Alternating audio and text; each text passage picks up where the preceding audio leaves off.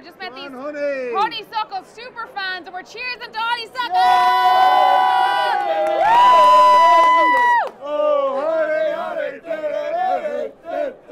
oh, honey, honey. Lads, why are you such honeysuckle super fans? Where'd you get ah, the She's scarf? the best around. Unbelievable. What a horse. She's better than any Power.